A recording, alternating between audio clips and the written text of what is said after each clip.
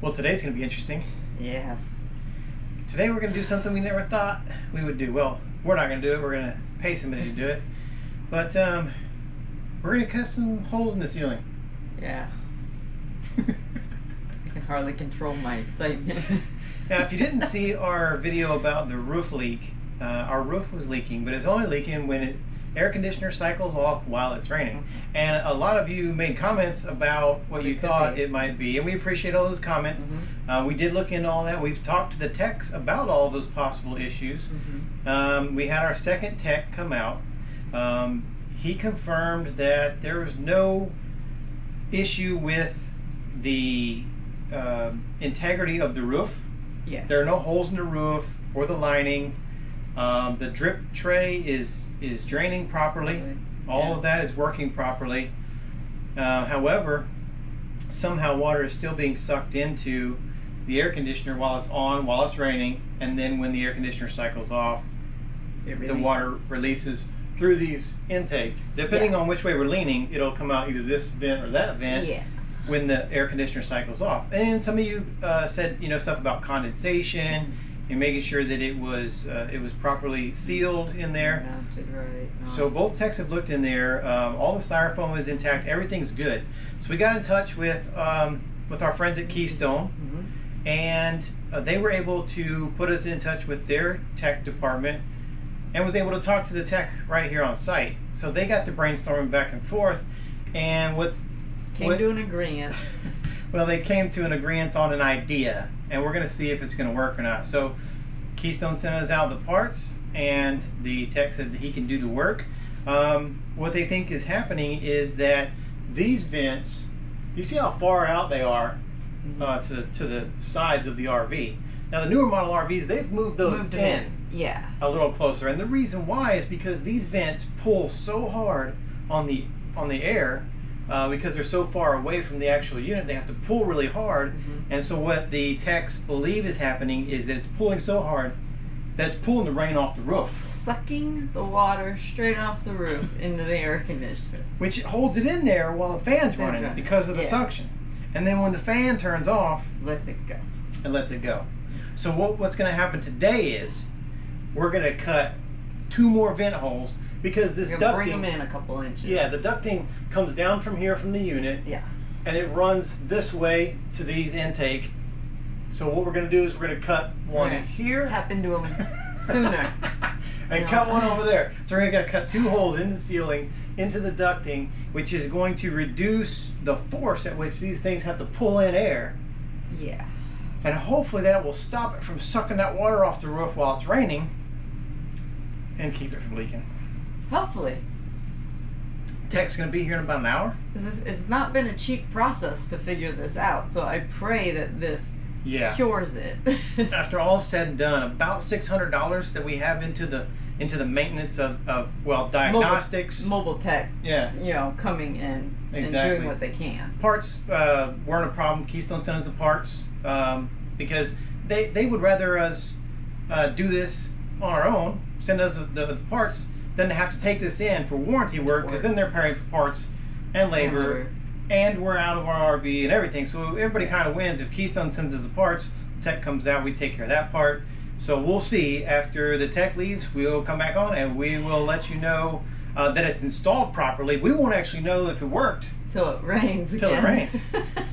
So Which we're in Florida, so we'll know soon enough. yeah. It, it's always raining somewhere in Florida. So we won't shoot the conclusion of this video until after it rains. The air conditioner cycles off a couple times while it's raining, Yeah, and we'll let you know if it worked.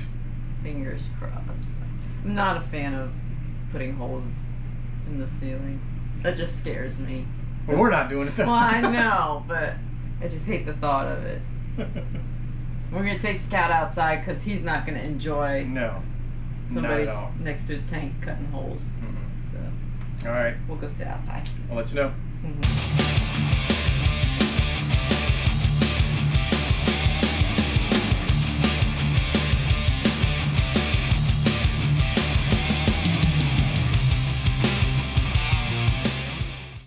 Well, we finally got some rain.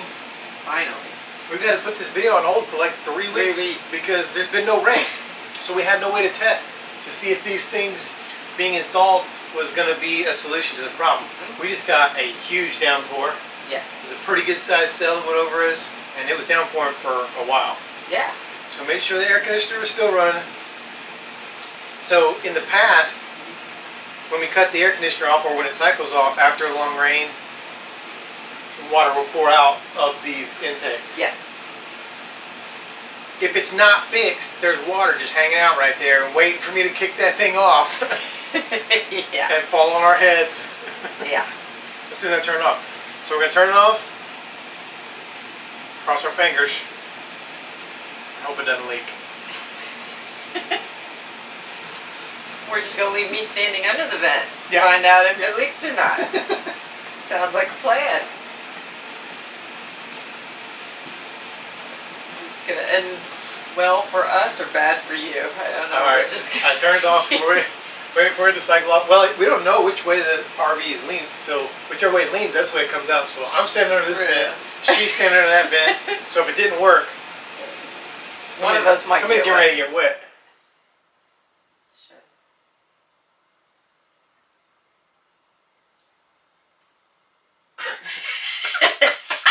Nobody's wet.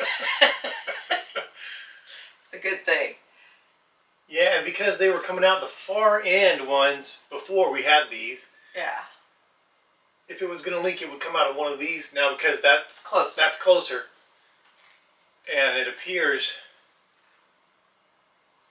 that there's no leak. Thank God I didn't want to get wet. I was still, I was, I was just waiting because no, normally it will, it's right away. As soon as it kicks off, it Yeah, will just it start pouring it. out. yeah. So it's not like we're gonna sit here and wait and it's gonna happen. Yeah. It would have already happened. So it looks like these uh, are the solution. So if Yeah. you have that issue and you can't figure out why your air, why your ceiling is leaking every time your air conditioner cycles off, When um, it rains. We'll show you some of the pictures. There was not very much. Uh, there was not very much clearance inside the inside Airflow the inside the space, ducts. yeah. it was very thin. Very narrow. And so what our guy did was when he put these in, um, he installed some some um, Shims. yeah some shims. He did some like makeshift shims out of uh, styrofoam, and he shoved them in there to give that a little bit more clearance. And so he raised the roof. She's full of these things. So you got the hundred dollar screw job, raised the roof. I'm like- on a roll. um, so after two technicians, each coming out twice, hmm uh, over six hundred dollars worth of technician work. Lots of communication with Keystone, and getting them to send us the um, Yeah. the stuff to install, and the communication between the techs and Keystone. Keystone's Texas. trying to figure out Right. the problem because um, none of the techs had this solution on their own.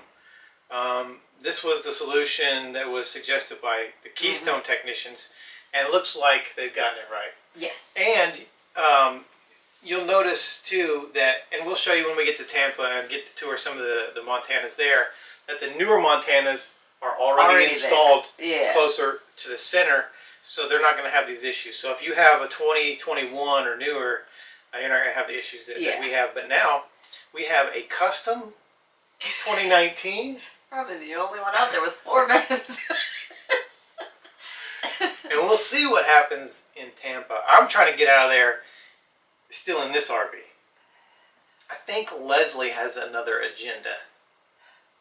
well, if they wouldn't have made me fall in love with the 2021s, we wouldn't have a problem. Yeah. So, blame Um, Keystone. Yeah. So thank you to all the, the technicians who helped us. Thank you to Keystone for getting Yes. involved and helping us out. Um, it's been a huge help. It's just been a process, and thankfully we're not leaking anymore. Uh, and it, I think it was contained inside the ducts, and the ducts um, weren't leaking into anywhere else. I don't Yeah. think so. I don't think we have any water damage or mold or anything like that. So um, we're happy. yes, we can leave the house knowing it's going to rain and not have buckets under the vents. We used to go out adventuring out and, and to put buckets. If there was a chance of rain, we'd put buckets just in case. Yeah. So no more buckets, yeah. no nice. more water. It's good. Yeah.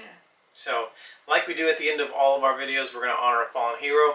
We appreciate you watching and sending us all of your suggestions on what it may be because lots of you sent those. We Mhm. appreciate that. And uh, it really did help because when we were talking to the techs and, and Keystone, we talked about, uh, About a lot of those Other ideas off, but they were confident this was the the solution. Yeah. So we'll honor that hero right now, and we'll see you next time. Bye. Bye.